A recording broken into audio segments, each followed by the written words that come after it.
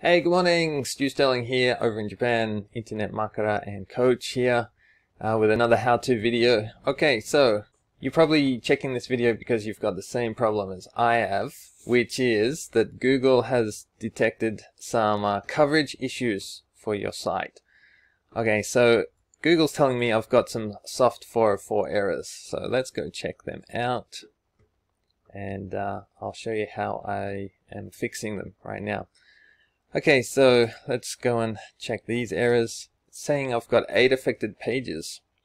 So with a 404, the, the best way to fix these is with uh, redirect. Okay, redirect them to a related page or another page that actually has that actually exists or that has content.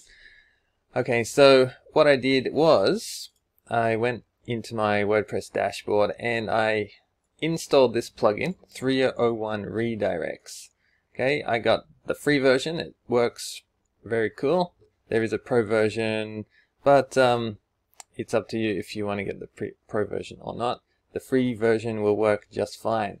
So I've already set up one and what all I did was copy the URL here.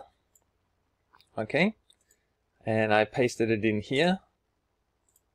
Alright but uh, yeah, just pasted it in here. And then I chose a page where I wanted to redirect this uh, page on my site and I chose one of these pages here.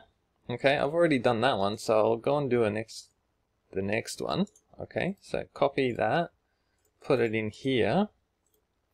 And for this one, I want a page and I'll do services because I do offer coaching as well.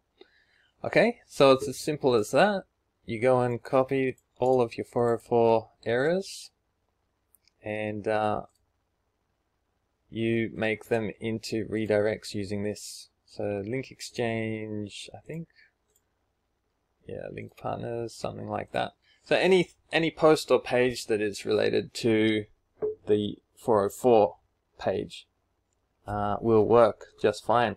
And um, this will eliminate all those 4, 404 errors and uh, it'll help your uh, site have better SEO, which is what we all want. The good thing about this is uh, they do a 404 error log as well.